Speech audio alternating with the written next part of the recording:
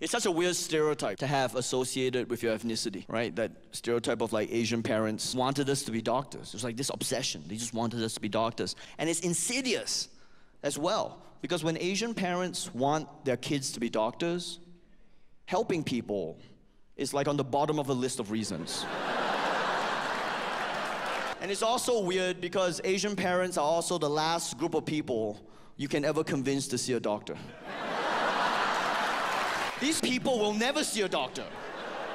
They spend their whole lives obsessing over it. Nothing can make my mom see a doctor. There's nothing. My mom could have an arrow going right through her. And you're like, yo, mom, go, let's go see a doctor. And my mom will be like, no, they just want to take people's money.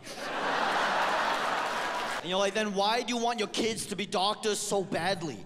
Because I want my kids to take other people's money, obviously. The fact that you don't understand that is the reason why you never became a doctor.